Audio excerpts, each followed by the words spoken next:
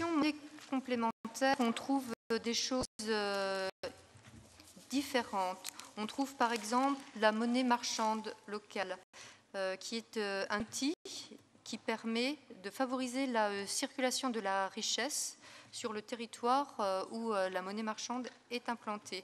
On retrouve aussi ce qu'on appelle les banques de temps et en Rhône-Alpes plus particulièrement les accorderies. Elles ont un rôle euh, de création, de recréation de liens sociaux. C'est un rôle important et elles permettent euh, l'échange de services entre personnes. On peut aussi euh, trouver des processus pour favoriser l'échange non monétaire entre entreprises. Les monnaies complémentaires ne sont pas une mode, ne sont pas une lubie de bobo.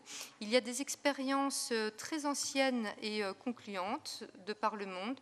Je ne citerai que le VIR en Suisse.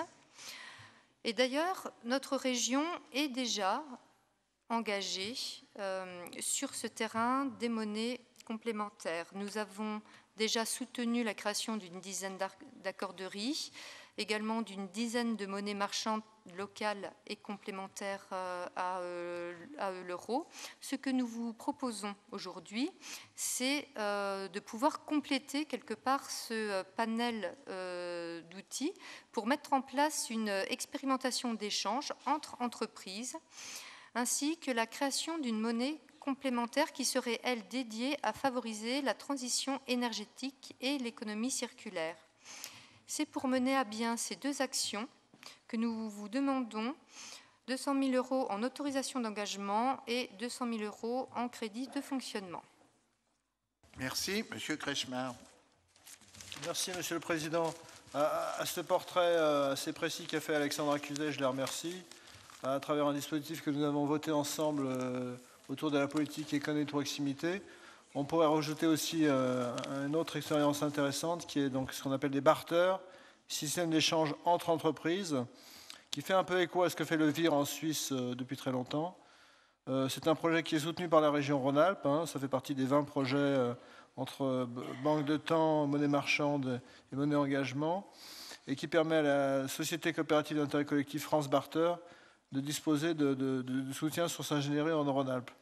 On espère que cette démarche pourra intéresser des collectifs d'entreprises. On peut penser des pôles de compétitivité ou des clusters ou des collectifs euh, donc, territoriaux qui puissent développer donc, euh, des outils de type système d'échange. L'amendement est intéressant donc, dans la mesure où il nous amène à réfléchir sur nos propres capacités dans nos politiques régionales, par exemple l'environnement ou l'énergie, à utiliser des systèmes d'échange locaux ou complémentaires. Aujourd'hui, nous n'avons pas de projet opérationnel directement opérationnel. Donc, euh, mon collègue Alain Chabrol y réfléchit depuis quelques semaines, quelques mois même plus précisément, et nous devons y travailler prochainement. Et les crédits qui ont été inscrits au BP 2015 permettent de soutenir ce type de projet d'émergence, en tout cas pour l'année qui vient. il n'y a donc pas matière à priori à réserver des crédits supplémentaires au BP pour un dossier de ce type, puisque donc, les crédits inscrits permettront de le faire. Donc euh, je vous encourage à, donc à ce moment, compte tenu de ce travail qu'on fait effectivement ensemble sur cette question, et qui est effectivement difficile, long, mais important, euh, à retirer votre amendement. Madame, euh, Madame Cuzet, d'abord, pardon, Monsieur de Percave d'abord.